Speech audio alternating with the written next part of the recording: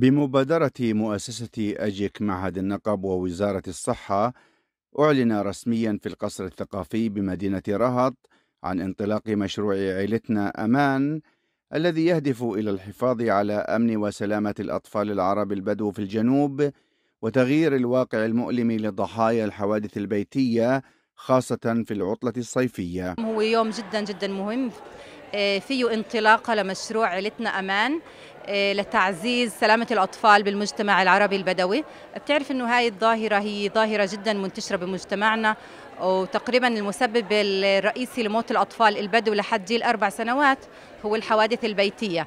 المبادرة جدا مهمة آه، هي اليوم موجودة. إحنا موجودين في قلب المجتمع العربي البدوي في النقب. هي لأجل الأطفالنا في المجتمع العربي آه، في النقب. وهي المبادرة بتحتوي على كثير مركبات. إحنا عم نشتغل كمان على رفع الوعي نشتغل كمان على إقامة آه، غرف ألعاب نشتغل كمان على تصميم حيز آمن في قلب البلديات وفي الأماكن العامة. القائمون على المشروع أشاروا إلى أن عائلتنا أمان الذي انطلق تحت شعار خلي عينك عليهم هو رسالة إنسانية نبيلة تهدف إلى تقليل هذه الظاهرة الخطيرة من خلال رفع الوعي وبناء شراكات مهنية وتعزيز الحملات التوعوية. الحوادث البيتية اللي هو أمر جدا مقلق. إحنا بنحكي على عدد كبير من العائلات ومن الأطفال اللي بتعاني من الحوادث. أغلبيتها بتصير في محيط البيت اللي هو لازم يكون المكان الآمن وبيؤدي لحالات منها سهلة لكن منها صعبة ومنها كمان حالات الموت.